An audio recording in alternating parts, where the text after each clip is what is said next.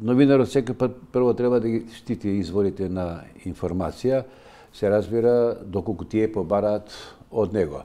Во овој случај станува збор за еден неофицијален, за еден разговор, еден неврзан разговор и во кој што е соопштена една неофицијална информација. Меѓутоа, од новинарот не е побарано да не ја објавува таа информација.